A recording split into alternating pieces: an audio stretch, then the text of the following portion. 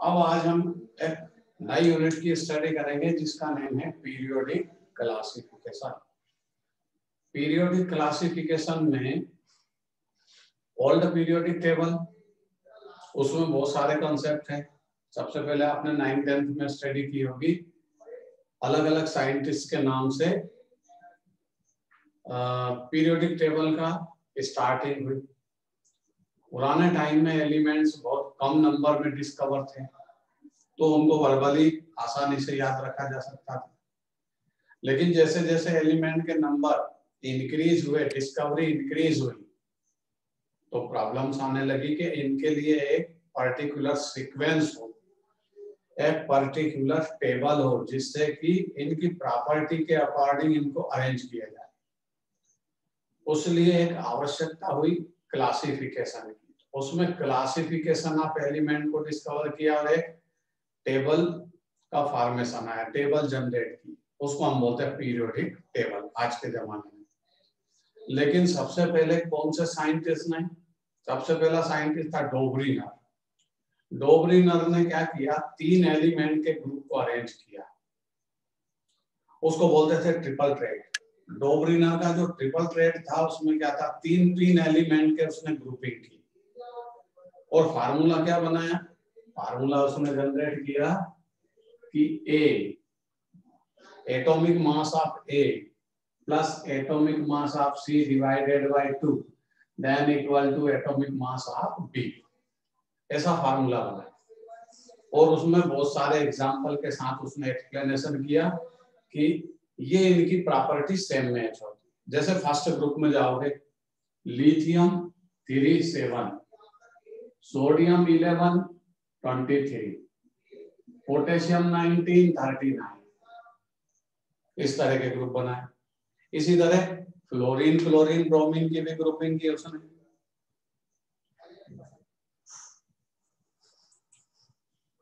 यहाँ ग्रुपिंग की तो इस फार्मूले के बेस पे उसने ग्रुपिंग की। डॉबरिनर ट्रिपल ट्रेड क्या बोला उसने कि इसको कंसीडर किया ए इसको कंसीडर किया सी और ये बना बी आप खुद आइडिया लगा सकते हो क्या होगा? यहाँ पर एक का एटॉमिक मास कितना है? सेवन। यहाँ पुटअप किया उसने सेवन फिर पुटअप किया सी का atomic mass thirty nine.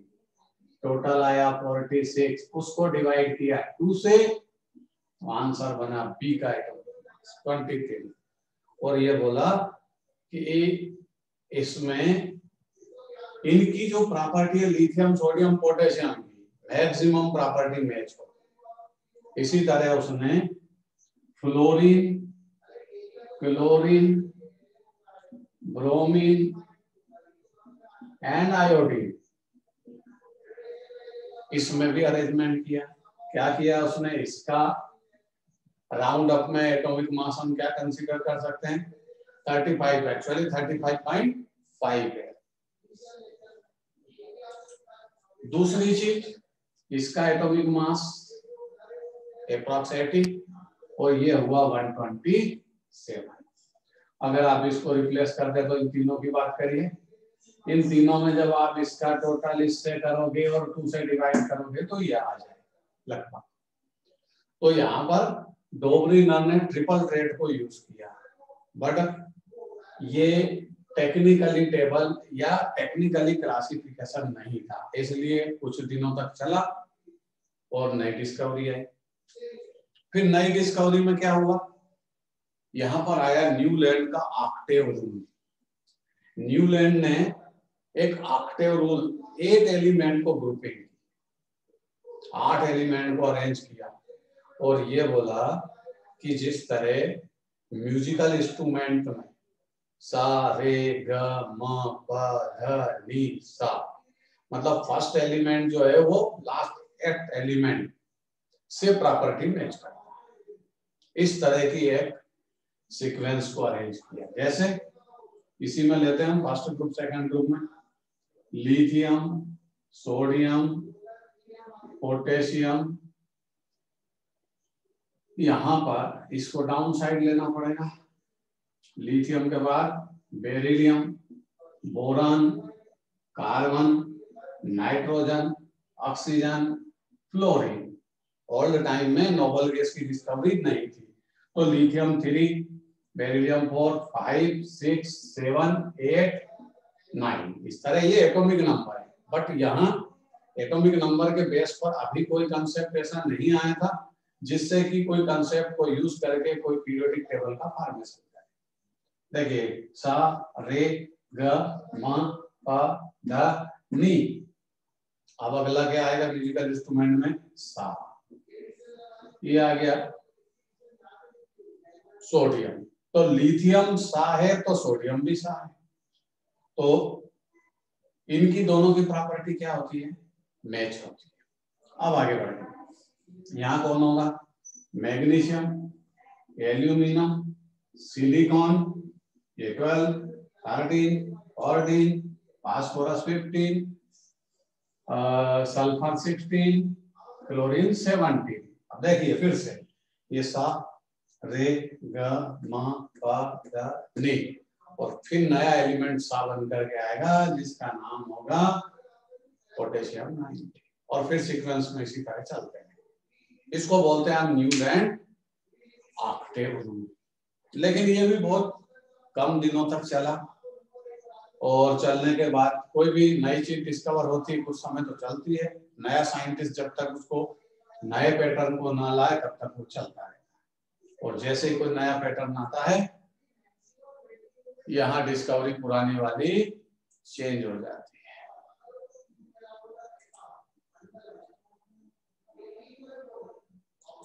चलिए चेंज हो जाती है। तो चेंज होती रहेगी। हम आगे बढ़ते रहेंगे। अब यहाँ पर क्या आता है? ये दो पैटर्न थे। एक डोबरीनर का ट्रिपल रेड और ये न्यूलैंड का यहाँ आप चाहे तो इसको डिक्टेट कर सकते हैं। मैं आपको नोट करा दे। आप उसके नाम को जानते हो। उसका नाम है मैंडलीफ स्पेलिंग अजीब टाइप की है उसकी। और अजीब टाइप की है। प्रोनाउंसिएशन अपने को याद होना चाहिए। Mendeleev classification of element Mendeleev ने सबसे पहले बेहतर ट्राई की थी ऑल एलिमेंट को अरेंज करने की। और उसने पहले एक कंसेप्ट लिया। क्योंकि बेसिक कंसेप्ट आपका पास ना होगा तो आप कितने भी क्लासिफिकेशन कर दीजिए फेल्यूर हो जाएगा। तो यहाँ उसने कंसेप्ट को क्या लिया?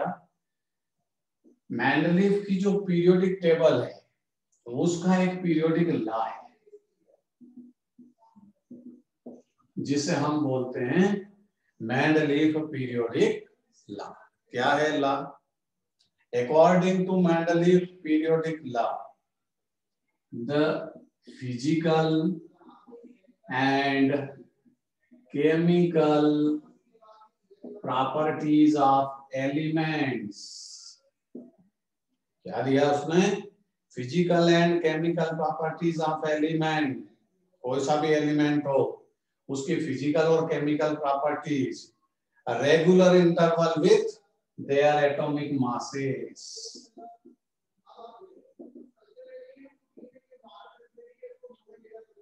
ये उसकी ला था।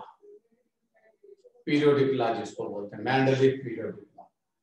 लेकिन यहाँ उसने एटॉमिक मास के कंपैरिजन में एलिमेंट को अरेंज किया। और एटॉमिक मास वेरिएबल फैक्टर है। एटॉमिक मास पॉइंट वाली वैल्यू है। Thirty five point five nineteen point eight तो यहाँ एलिमेंट को अरेंज करने में बहुत सारी प्रॉब्लम्स है। बट उसने ट्राई तो की, ये फ़र्स्ट ट्राई थी एलिमेंट की क्लासिफिकेशन तो यहाँ एटॉमिक मास के बेस पर जैसे जैसे एटॉमिक मास चेंज होगा मींस एटॉमिक मास इंक्रीज होगा तो फ़िज़िकल और केमिकल प्रॉपर्टीज़ एलिमेंट की चेंज होगी रेगुलर इंटरवल होगा। ये उसका सिंपल सा ला है। अब समस्या ये आती है कि यहाँ पर मैंडलिफ ने जो पीरियोडिक टेबल को डिज़ाइन किया, उसमें क्या थे? सेवन पीरियड्स अब पीरियड्स किसको बोलते हैं पीरियोडिक टेबल में? ऐसे ये, आप यहाँ पूरी पीरियोडिक टेबल को डिज़ाइन नहीं करेंगे। जो हमारे मतलब की है, जो हमारे काम की है पीरियोडिक टेबल उतना यहाँ डिज़ाइन करेंगे। पीरियड्स किसको बोलते हैं? ग्रुप किसको बोलते हैं? ये समझेंगे। और दूसरी चीज़ समझेंगे मेंडलिफ ने क्या ड्रॉबैक्स किए। मतलब मेंडलिफ की पीरियोडिक टेबल में क्या ड्रॉबैक्स है, क्या मिस्टेक किए चले तो ये इस तरह का जो इसको बोलते हैं हम वर्टिकल रो ये पीरियड्स के नाम से फ़ेमस है। तो मैंडलिप की पीरियोडिक टेबल में कितने पीरियड्स थे? सेवन पीरियड और इस तरह की जो लाइन हो पीरियोडिक टेबल में, ये ये वर्टिकल ये कैसा था? हॉरिजेंटल ये हॉरिजेंटल रो और ये वर्टिकल क्लियर ये वाला कॉलम कौन सा है? वर्टिकल ये हॉरिजॉन्टल इसको बोलते हैं हम पीरियड और इसको बोलते हैं ग्रुप ये ग्रुप है। अब ग्रुप कितने थे, क्या थे? वो धीरे धीरे हम आगे बढ़ते हैं। इस तरह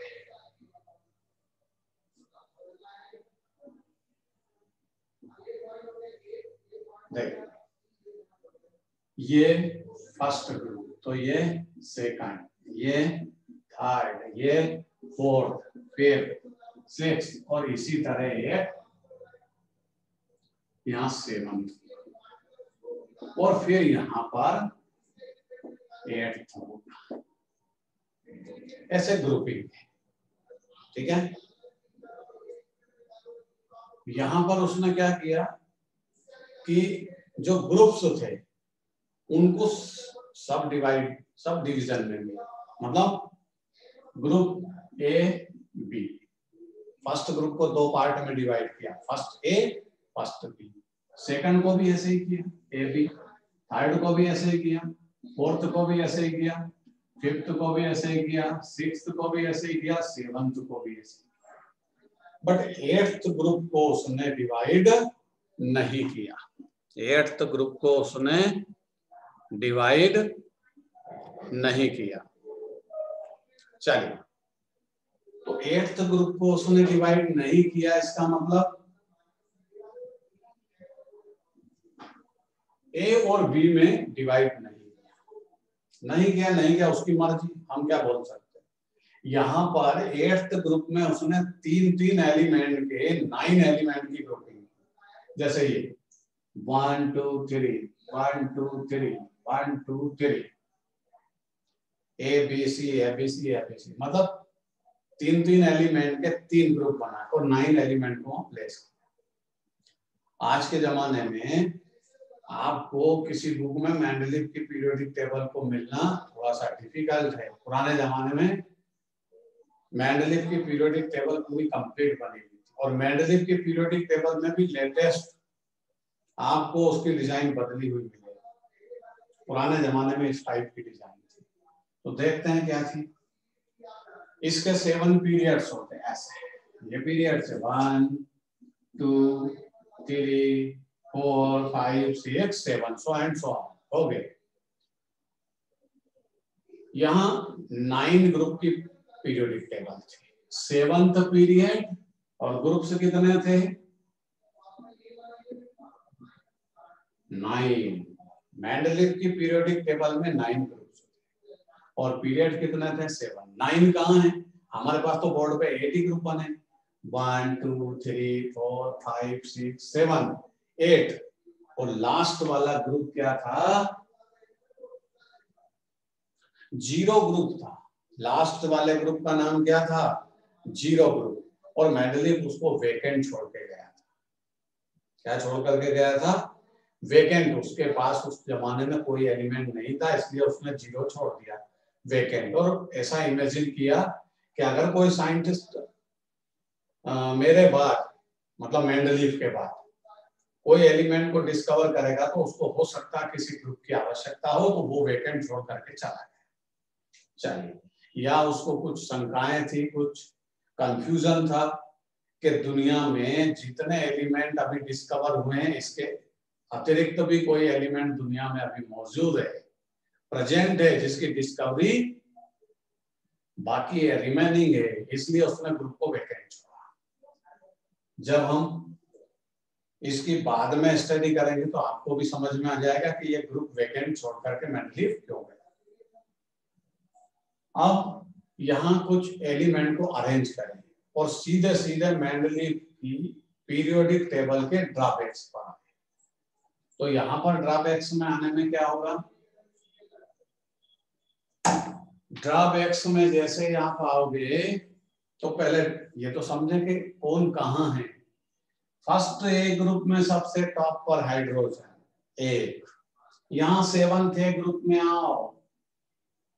फ़र्स्ट पीरियड में भी हाइड्रोजन क्यों? समझते हैं। यहाँ कौन है? Lithium sodium potassium rubidium caesium and francium बहुत सारे एलिमेंट है। याद होंगे नहीं अभी? केवल नाम सुन लीजिए lithium sodium potassium rubidium caesium francium ये फ़र्स्ट ए ग्रुप के एलिमेंट्स है। ठीक है? यहाँ आइए सेवंथ है ग्रुप में। Fluorine chlorine bromine iodine fluorine nine chlorine seventeen thirty five iodine fifty three astatine eighty five ये पाँचों एलिमेंट हेलोजन फैमिली के मेंबर्स यहाँ भी इनको कलेक्ट करके लिख देना, आपको प्रॉब्लम ना हो। यहाँ फ़र्स्ट ए ग्रुप में कौन कौन एलिमेंट है lithium sodium potassium 19 sodium 11 lithium 3 rubidium 37 caesium 55 francium 87 इस तरह इतने सारे एलिमेंट फ़र्स्ट ए ग्रुप में। तो फ़र्स्ट बी में कौन है? फ़र्स्ट बी में तीन एलिमेंट है। कौन? जिंक कॉपर एस ये यहाँ पर है फ़र्स्ट बी ग्रुप ध्यान से, ये फ़र्स्ट बी ग्रुप के एलिमेंट है। Copper Ag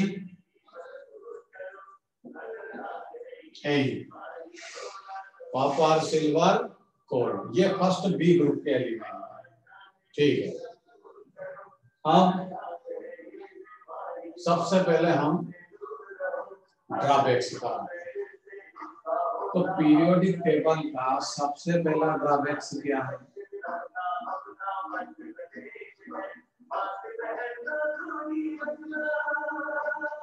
सबसे पहला ड्रॉबैक्स है position of hydrogen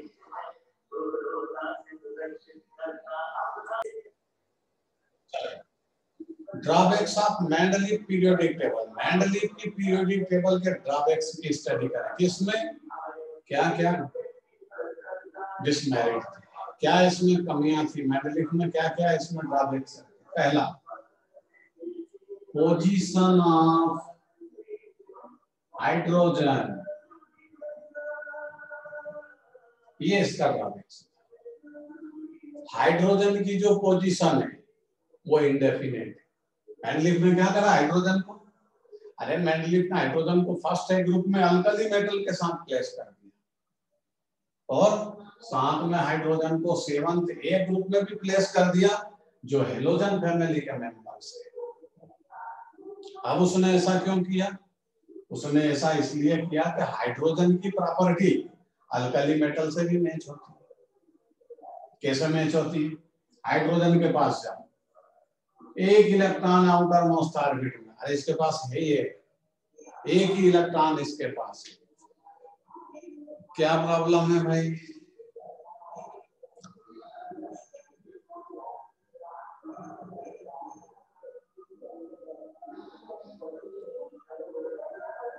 अच्छा। चलिए भाई। तो पहला ड्रॉबैक्स क्या है? पहला ड्रॉबैक्स है position of hydrogen indefinite hydrogen को फ़र्स्ट ए ग्रुप में भी प्लेस कर दिया हाइड्रोजन को सेवंथ ए ग्रुप में भी हेलोजन फैमिली के साथ पुटअप कर दिया। क्योंकि हाइड्रोजन की प्रॉपर्टी अल्कली मेटल से भी मैच होती है और हाइड्रोजन हाइड्रोजन की प्रॉपर्टी हेलोजन फैमिली से भी रिसर्व है इसलिए मैंडलिव कंफ्यूज हो गया, दो प्लेस उसको तो दूसरे एलिमेंट ने वहाँ पर हल्ला किया। भाई हाइड्रोजन को दो पोजीशन और हमको तो कुछ भी नहीं। तो यहाँ ये ड्रॉबैक्स पैदा हो गया कि एक एलिमेंट को दो दो प्लेस दे रहा हो। और मालूम पड़ा कि किसी एलिमेंट को तो प्लेस ही नहीं दिया। या करेक्ट प्लेस ही ना मिल पाया। और एक एलिमेंट को अगर उसकी प्रॉपर्टी के बेस पे दो प्लेस मिलेंगे तो फिर पीरियोडिक टेबल का क्या होगा? कितनी बड़ी हो जाती इसलिए ये मैंडेलिव का पहला ड्रॉबैक्स है कि उसने हाइड्रोजन की पोजीशन को करेक्ट पोजीशन ना दी।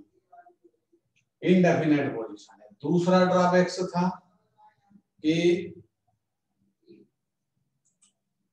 सेकंड ड्रॉबैक्स था हाइड्रोजन मैंडलिव की पीरियोडिक टेबल का कि उसने आइसोटॉप्स को जस्टिफाई नहीं किया। आइसोटॉप्स को जस्टिफाई कैसे करें?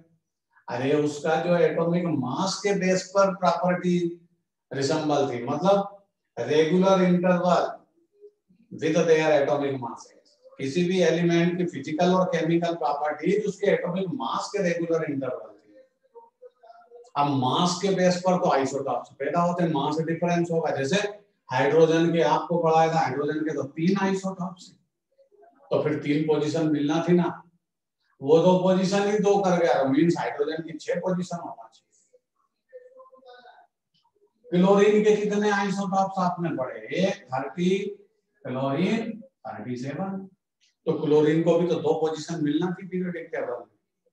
ये भी उसका ड्रॉबैक्स मैंडलिव की पीरियोडिक टेबल में कुछ एलिमेंट्स ऐसे अरेंज थे जिनका एटॉमिक मास हायर है बट वो पीरियोडिक टेबल में बिफोर पहले हेवियर एलिमेंट के बाद में लाइटर एलिमेंट को प्लेस कर ये भी उसका ड्रॉबैक्स तीसरा ड्रॉबैक्स फ़र्स्ट ग्रुप में जो एलिमेंट है फ़र्स्ट ए ग्रुप में अल्कली मेटल इनकी प्रॉपर्टी फ़र्स्ट बी ग्रुप के एलिमेंट से मैच नहीं होती है। डिफरेंट प्रॉपर्टी है।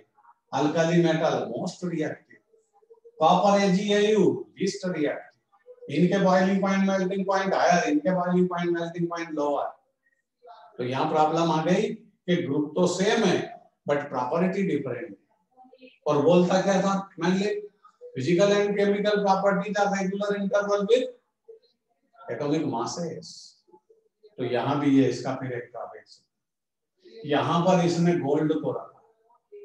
और गोल्ड की प्रॉपर्टी आप जानते हो प्लेटिनम से मैच होती और प्लेटिनम को एट्थ ग्रुप में रखा। बताओ जिनकी प्रॉपर्टी सेम है, उनको डिफरेंट प्लेस दे दिया। और जिनकी प्रॉपर्टी डिफरेंट है, उनको सेम प्लेस दे दिया। तो ये मैंडलीव के ड्रॉबैक्स है। जैसे गोल्ड और प्लेटिनम दोनों लिस्ट रिएक्टिव मेटल है। दोनों कॉस्टली मेटल है। सबसे महँगी मेटल प्लेटिनम है। गोल्ड उसके बाद आता है। तो यहाँ पर क्या हुआ कि इनकी जो प्रॉपर्टी है सेम है। बॉइलिंग पॉइंट हायर है। मेलिएबिलिटी ना डक्टिलिटी ना बहुत सारी प्रॉपर्टी जो होती है, वो सब सेम है, लेकिन इनके ग्रुप अलग है। तो ये मैंडलीव का पीरियोडिक टेबल के ड्रॉबैक्स है। अब यहाँ से हम जो हाइड्रोजन है, इसका एटॉमिक नंबर वन एक इलेक्ट्रॉन डायग्राम क्या बनेगा? वन एस वन हालाँकि इसकी आवश्यकता नहीं होगी बट हमको ये समझना पड़ेगा कि हाइड्रोजन को अल्कली मेटल के साथ प्लेस क्यों किया? ऐसी क्या उसमें कैरेक्टरिस्टिक प्रॉपर्टी सेम थी मैच थी कि मैंडलिव कंफ्यूज हुआ और फ़र्स्ट फ़र्स्ट ग्रुप के, जो फ़र्स्ट ए ग्रुप है अल्कली मेटल्स उसके साथ क्यों रख? तो पहला पॉइंट ये है कि हाइड्रोजन का और अल्कली मेटल का जो आउटर मोस्ट इलेक्ट्रॉनिक कॉन्फ़िगरेशन है वो सेम है। कैसे सेम है? हाइड्रोजन के पास एक इलेक्ट्रॉन वन एस वन उसका आउटर मोस्ट ऑर्बिट है। लिथियम के पास है। Lithium three in the first orbit two second one ये देखिए टू एस वन अरे टू लिखे चाहे वन लिखे चाहे थ्री लिखे, वो तो ऑर्बिट का नंबर है। सब सेल तो एस है ना दोनों में, और दोनों में कितना इलेक्ट्रॉन है? वन मतलब सेम कॉन्फ़िगरेशन हुआ ना। सेम कॉन्फ़िगरेशन का मतलब सभी के आउटर मोस्ट में ए सब सेल में इलेक्ट्रॉन इंटर है सिंगल है और सबकी डिज़ाइन आपको ऐसे मिलेगी। ये लिथियम की भी ऐसी design outermost orbit two S one तो उससे क्या फ़र्क पड़ता है? Sodium eleven two eight one देखिए कॉन्फ़िगरेशन ये three S one same configuration outermost का। S one means potassium nineteen two ये कॉन्फ़िगरेशन और ये वन टू थ्री फोर क्या है? ये तो एन की वैल्यू है ना तो एन लिख सकते हो rubidium thirty seven in the first orbit two second eight eighteen eight one ये five S one same configuration of outermost shell so they are placed in same group cesium 55 francium 87 in the first orbit 2 8 18 8 1 ये आया same configuration two eight eighteen thirty two eighteen eight one ये आ गया same configuration तो आपको समझाने का मतलब है कि हाइड्रोजन फ़र्स्ट ए ग्रुप के साथ क्यों है अल्कली मेटल के साथ? क्योंकि उनके outer most electronic configuration same है। और सबका आउटर कॉन्फ़िगरेशन क्या है? NS1 n for number of orbit दूसरी प्रॉपर्टी क्या मैच होती है? हाइड्रोजन कितने इलेक्ट्रॉन को रिलीज़ कर सकता है? एक। तो इसका ऑक्सीडेशन स्टेट क्या होगा? प्लस वन वैलेंसी क्या होगी? वन अल्कली मेटल में जाओ या आउटर मोस्ट से कितने इलेक्ट्रॉन को रिलीज़ करेंगे, सिंगल। तो इनका ऑक्सीडेशन स्टेट भी सभी का क्या है? प्लस वन वैलेंसी क्या है? One oxidation state plus minus sign से होता है।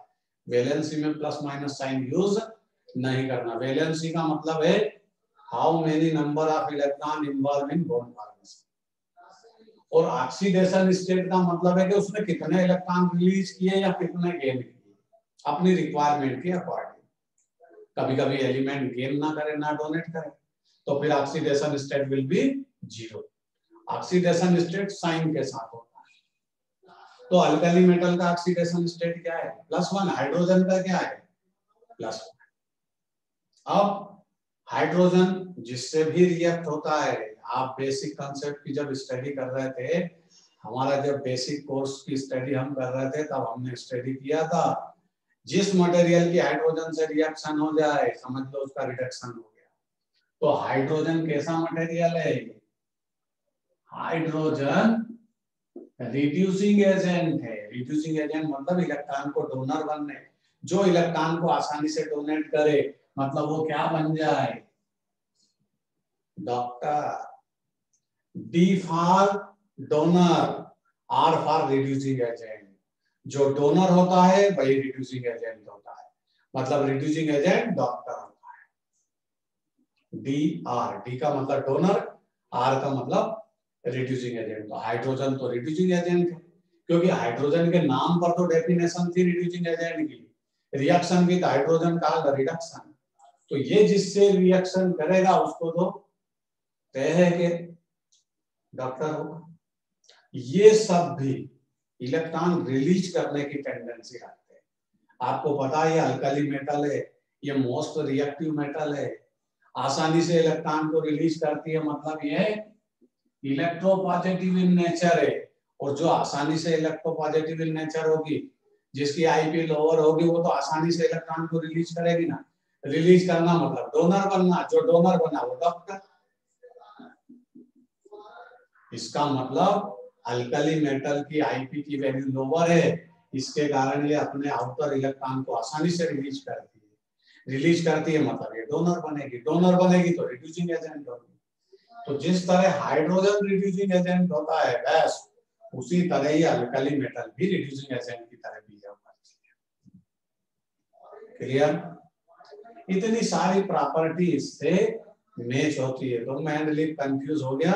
हाइड्रोजन को फ़र्स्ट ग्रुप में अरेंज करके चला गया ये आपकी प्रॉब्लम है अब कि इसकी स्टडी करें और स्टडी करने के बाद ये कंक्लूजन करें कंक्लूजन लाए कि इसको वाकई में रखेगा। तो ये आपकी प्रॉब्लम में लिखती नहीं अब समस्या ये कि इसमें डिफरेंस भी है। मतलब ये अल्कली मेटल से प्रॉपर्टी मैच नहीं भी करता है, बहुत सारी।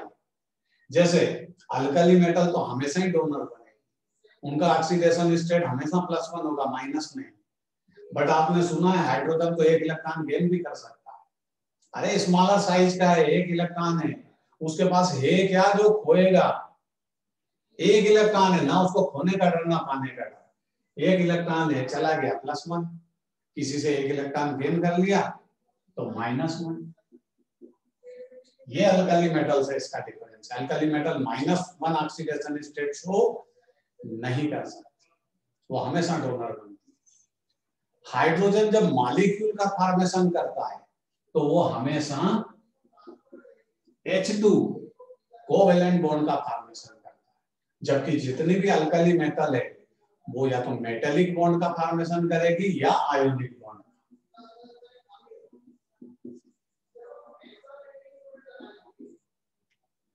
ये डिफरेंस है। ठीक है? तो डिफरेंस भी है तो प्रॉपर्टी सेम भी है। इसलिए हाइड्रोजन फ़र्स्ट एयर ग्रुप में होना भी चाहिए और नहीं भी होना चाहिए। ये हमारा रिज़ल्ट है, हमारा कंक्लूजन है कि ये यहाँ होना भी चाहिए, नहीं भी होना चाहिए।